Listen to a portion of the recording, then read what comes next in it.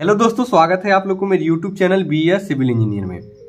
दोस्तों, आज के वीडियो में हम लोग सर्कुलर कॉलम का बीबीएस निकालना जानेंगे कि सर्कुलर कॉलम का बीबीएस कैसे निकाला जाता है। इससे पहले दोस्तों, मैंने कॉलम का फुटिंग का स्लेब का बीबीएस कैसे निकालते हैं, इस पर ऑलरेडी वीडियो बना रखी है। अगर आप मेरे चैनल पर नए आए हैं तो चैनल पर जाके वो वीडियो मेरी देख सकते हैं। दोस्तों, आज की वीडियो में यही बात करेंगे सर्कुलर कॉलम के बारे में। चलिए इस कमाल की वीडियो को शुरू करते हैं बिना किसी देरी के।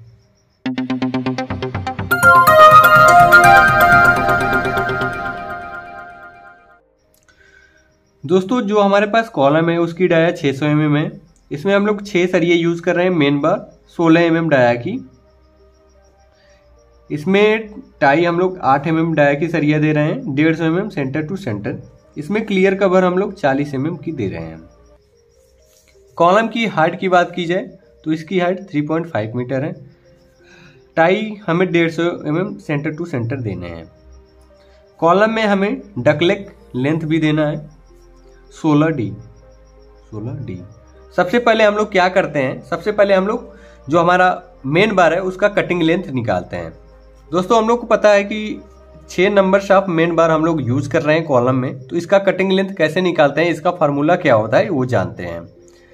इसका formula length of the column column की लेंथ प्लस डक लेग लेंथ ये वाली लेंथ और माइनस बेंड बेंड क्या है?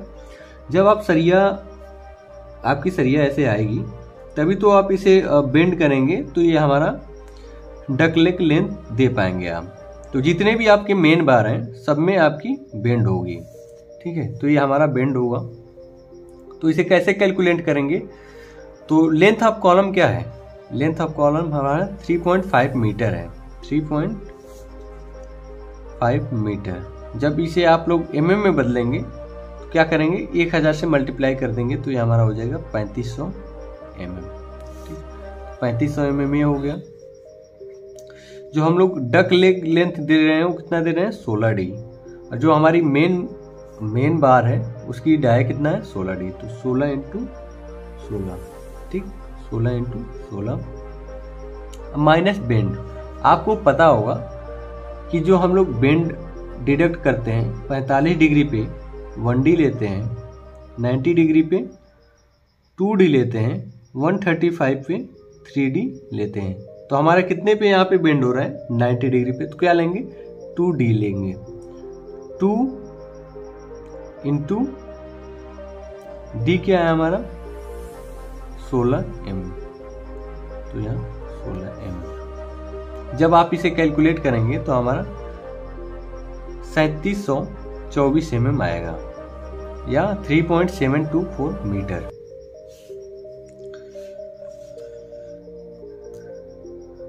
दोस्तों, जब मेन बार की कटिंग लेंथ निकल जाए, उसके बाद जो हमारे टाई लग रहे हैं इसमें टाई बार उसका हम लोग कटिंग लेंथ निकाल लेते हैं, ठीक है? तो सबसे पहले तो हम लोग ये निकालेंगे कि इसमें हमारे कितने नंबर ऑफ़ टाई लग रहे हैं। तो उसके लिए क्या फार्मूला होता है? लेंथ ऑफ़ कॉलम बटा सेंटर टू सेंटर जो स्पेसिंग है प्लस वन तो लेंथ ऑफ़ कॉलम क्या है हमारा? पैंतीस सौ थ्री पॉइंट फाइव मीटर पैंतीस सौ बटा क्या है? स्पेसिंग क्या है? डेढ़ सौ एम सेंटर टू सेंटर भाग दे देंगे प्लस वन कर देंगे तो हमारे निकल के आ जाएगा तेईस नंबर। ठीक उसके बाद हम लोग क्या करेंगे? कटिंग लेंथ निकालेंगे लेटरल टाई का। ठीक है। तो इसका कटिंग लेंथ कैसे निकालते हैं? सबसे पहले तो जो हमारे पास कॉलम है सर्कुलर कॉलम उसका परिधि निकालेंगे। तो कैसे निकालते हैं? टू पाई आर प्लस इसमें हमारा हुक लेंथ आ रहा है। दो हुक लेंथ है। तो हुक लेंथ क्या लेते हैं हम लोग? टेन डी लेते हैं हुक लेंथ हुक लेंथ कित, कितने हुक हैं हमारे? एक ही और एक ही दो। तो क्या करेंगे? Two times of ten into D ठीक है? इसमें बेंड क्या है? ये हम 90 डिग्री बेंड लेते हैं। इसमें सर्कुलर कॉलम में।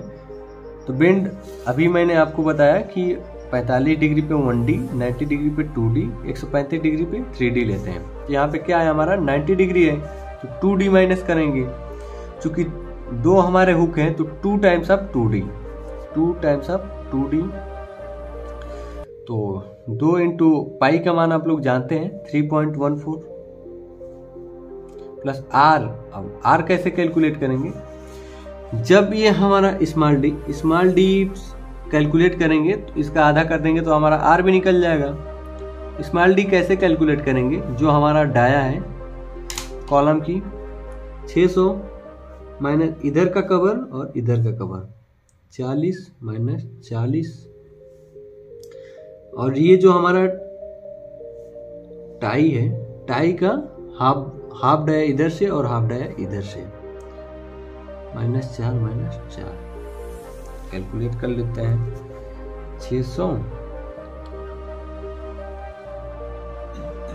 माइनस अट्ठासी।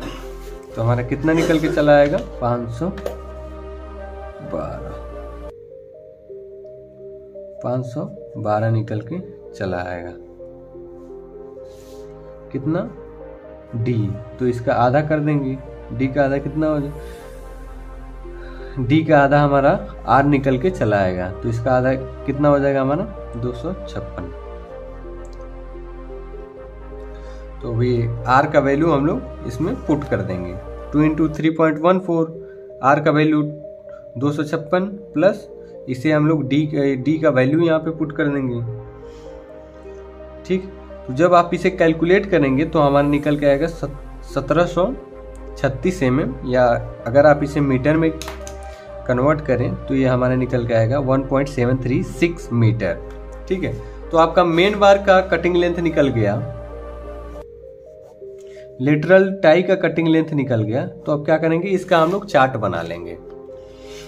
चार्ट में सबसे पहले हम लोग सीरियल नंबर लिखते हैं, फिर types of bar shape of cutting length dia of bar कितने नंबर्स लग रहे हैं लेंथ टोटल लेंथ उसके बाद हम लोग वेट कैलकुलेट कर लेते हैं। ठीक है?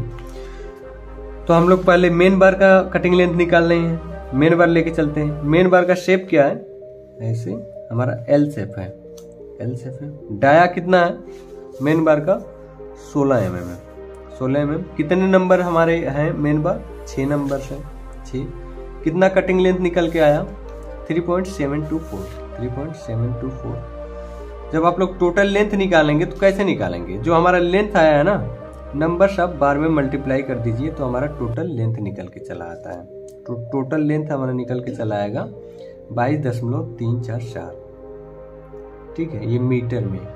ये जितने भी हमारे क्वांटिटी है, सब मीटर में वेट कैसे निकाला जाता है? आपको पता होगा कि सरिया का यूनिट वेट जब निकाला जाता है मीटर में तो उसका फार्मूला होता है डी स्क्वायर बटा एक इसमें आप कितने एम की भी सरिया हो जो भी सरिया हो, उसका आप लोग वेट निकाल सकते हैं मीटर में। तो हम वही वेट जब आपको निकालना रहेगा तो ये फार्मूला आप लोग यूज़ कर सकते हैं, ठीक है? तो वेट निकालने के लिए चूँकि हमें टोटल वेट निकालना है तो डी स्क्वायर बट्टा एक सौ बासठ डी स्क्वायर के जगह पे क्या लिखे हम? सोलह की सरिया है, सोलह गुणे सोलह। एल हमारा कितना आया है? कितना? बाईस दशमलव तीन चार चार बट्टा एक सौ बासठ तो हमारा टोटल वेट निकल के चला आएगा पैंतीस दशमलव तीन ज़ीरो के जी फिर हम लोग लेटरल टाई लेंगे। लेटरल टाई का शेप हमारा कुछ इस प्रकार से है। जो डाया ऑफ़ सरिया है कि क्या है? डाया बार आठ एम है। कितने नंबर्स लग रहे हैं? तेईस नंबर लग रहे हैं। कटिंग लेंथ क्या निकल के आया? 1.736 मीटर। ठीक। टोटल लेंथ निकालेंगे तो इसको इसमें मल्टीप्लाई कर देंगे। उनतालीस दशमलव नौ थ्री और फिर इसी फार्मूले में जैसे इसमें भी पुट कर देंगे। तो डी स्क्वायर डी के जगह पे क्या रखेंगे? एट का स्क्वायर बटा एक सौ बासठ। टोटल लेंथ कितना निकल के आया? उनतालीस दशमलव नौ थ्री जब आप इसे कैलकुलेट करेंगे तो पंद्रह दशमलव सेवन सेवन के जी आएगा, जो सोलह के जी हम इसे मान लेंगे। तो जब आप दोनों को मल्टीप्लाई कर सॉरी दोनों को ऐड कर देंगे तो हमारा टोटल वेट निकल के चला आएगा।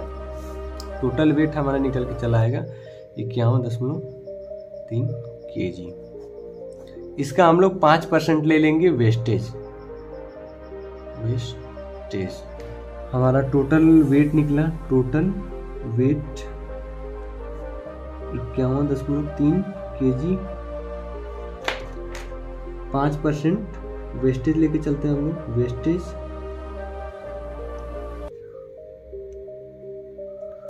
तो इसका निकल के चला आएगा five percent, two point five six इसे ऐड कर देंगे। सिक्स एट फिफ्टी फाइव तो टोटल हमारा जो ग्रॉस वेट निकल के आएगा ग्रॉस वेट कितना निकल के आएगा? Fifty three point eight six approximate कितना आ जाएगा? चौवन के ठीक है? तो जो हमारी सरिया लगेगी कॉलम में, वो चौवन के जी सरिया लगेगी। तो दोस्तों, ऐसे ही हम लोग सर्कुलर कॉलम का बीबीएस निकालते हैं। उम्मीद करता हूँ कि वीडियो आप लोग को समझ में आया हो। अगर वीडियो समझ में नहीं आया हो, कोई पॉइंट समझ में नहीं आ रहा है तो उसे कमेंट करके बताएँ, उसे भी सॉल्व कर दिया जाएगा। तो दोस्तों, आज के वीडियो में बस इतना ही। उम्मीद करता हूँ वीडियो अच्छा लगा हो। अगर वीडियो अच्छा लगे तो चैनल को ज़रूर सब्सक्राइब करें। किसी और भी टॉपिक पे वीडियो चाहते हैं तो कमेंट करके बताएँ। उस टॉपिक पे भी वीडियो आएगा। फ़िलहाल दोस्तों, आज के वीडियो में बस इतना ही। फिर मिलते हैं अगले वीडियो में। तब तक के लिए जय हिंद।